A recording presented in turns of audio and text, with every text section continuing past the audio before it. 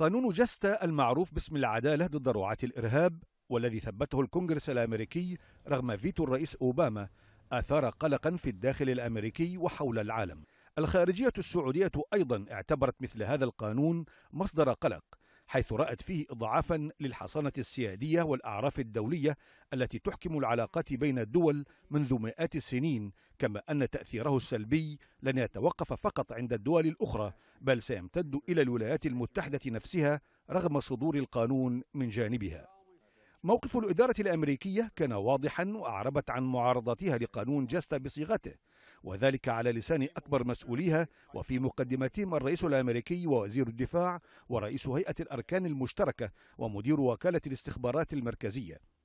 وفي ظل استشعارهم للمخاطر التي يشكلها هذا القانون في العلاقات الدولية أعرب خبراء الأمن القومي الأمريكيون عن رفضهم لمشروع هذا القانون.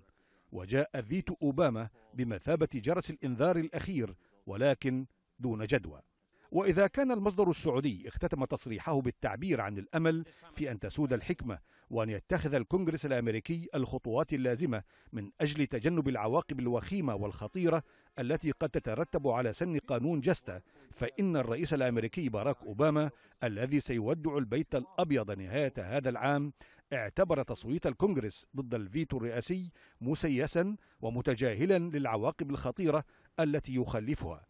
محذرا من أن إصدار هذا القانون يعني أن المسؤولين الأمريكيين حول العالم قد يكونوا مهددين بالمثل ما يسمح للحكومات الأجنبية بإعطاء الضوء الأخضر لمحاكمها بممارسة ملاحقة قضائية على الولايات المتحدة ومسؤوليها.